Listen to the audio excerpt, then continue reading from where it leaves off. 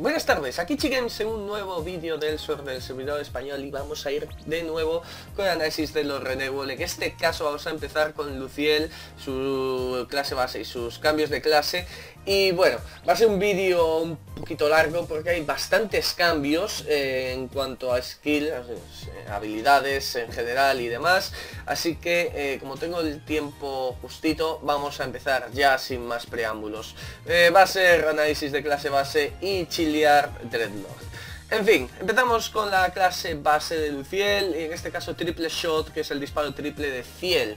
Efecto de nota añadido, el, nivel true genera más CP, que son los puntos de combinación, al utilizarse. Stomp, que es el puñetazo ese gigante de Lu, en este caso. Eh, al nivel true, el rango incrementa el rango se incrementa en este caso y se crea un cráter que aplica ralentizado.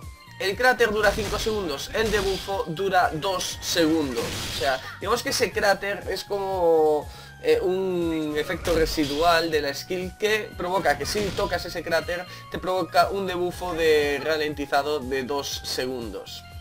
Strong Strike, que es una de las habilidades duales, eh, añadido el efecto, un efecto de la nota, o sea, el efecto de, la nota que tenía antes. El efecto de Devil Flame se le ha añadido. Eh, ya sabéis Devil Flame, que no me acuerdo cómo se llama en castellano, pues eh, el efecto de esa skill se le añade a esta habilidad combinada. El Flick Shot de Ciel, efecto de la nota añadido, eh, la nota que tenía antes, si no hay enemigos cerca, rebota alrededor del personaje. O sea, mm, digamos que si no hay objetivos, se queda rodeando al, al personaje en sí puede ser Lugo, puede ser Fiel, pues, normalmente sea Fiel, pero si hacéis un cambio de, si hacéis un relevo, pues sea Lula que lo tenga alrededor.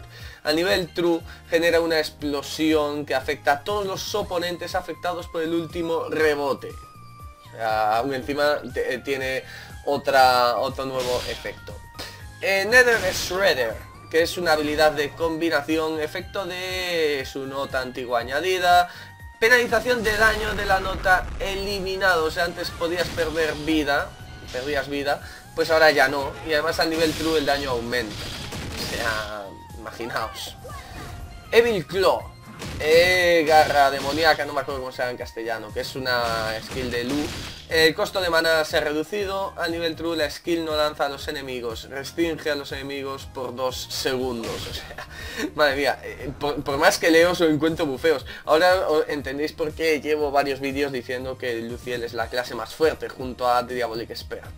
El Soul Infest, que es una habilidad de combinación, efecto de la nota añadido, o sea, como casi todas las skills que tienen nota, pues se añade su efecto antiguo. Y además al nivel true el daño aumenta. Madre mía. Hunting Prey, que es una habilidad compartida. Ahora Ciel adquiere super armadura al utilizarlo. Bueno, es una habilidad compartida en el sentido de que pueden utilizarlo los dos. Normalmente las habilidades compartidas son activas, para que os... Para que os... Mm, para que lo entendáis. Igual que en este caso eh, Strong Strike, que creo que dije habilidad de combinación no es habilidad compartida. Cuidado, porque ahí me, ahí me he colado yo. Pero bueno, tenedlo muy claro.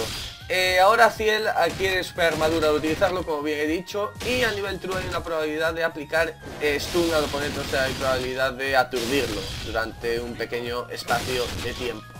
Nada, estos son los cambios en las habilidades de Luciel base, así que ahora vamos a pasar con las de eh, Chiliar y Dreadlock. En fin, vamos allá.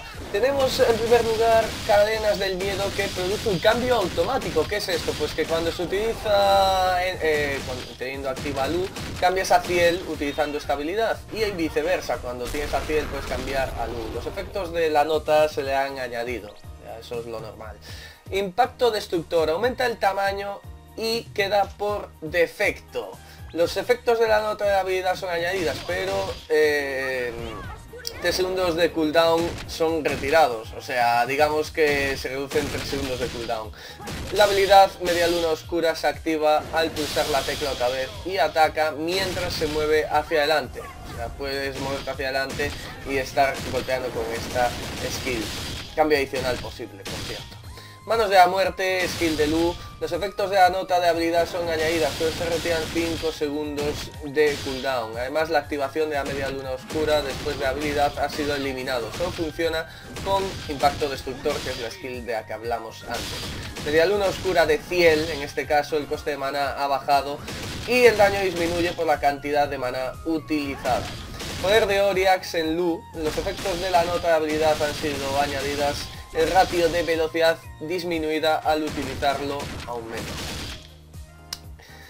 Así que estas son las cosas que veis aquí. Seguimos con espada fantasmagórica. Puede cambiarse a cuchilla danzante seleccionando trascendencia. Apolion. Skill, digamos, más mediática del Dreadlord. Es que es una habilidad de combinación. El rango de ataque ha aumentado. El tamaño máximo sigue siendo el mismo. Eh, servidor demoníaco de Lu, si no hay objetivos en la dirección donde el jugador está mirando, este no dará la vuelta y continuará atacando a su enemigo. Eh, salvación, que es una habilidad de combinación, cambiando de habilidad de chiliarcas a habilidad de ángel de la muerte. O sea, digamos que ya no es una... Mm, eh, ya no es una skill del primer cambio de clase, sino del segundo. O sea, ya no es de la Chile, sino que es del Dreadlord, para aclararnos. El año base aumentó de modo que llegue detrás del personaje. El rango de muerte instantánea no cambia. Emboscada, que es una habilidad compartida, compartida. Eh, hay que tener en cuenta las diferencias entre combinada y compartida. Los efectos de la nota de habilidad son añadidas. Y por último, ven oscuridad. El daño ha sido aumentado.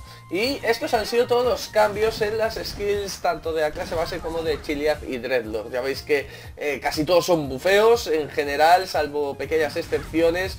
Eh, digamos que es por eso que Luciel, tanto en su clase Dreadlord como en su clase Nobles, eh, son muy potentes. Y nada, espero que os haya gustado el vídeo, espero que os haya servido y nos vemos en los siguientes. ¡Hasta huevo!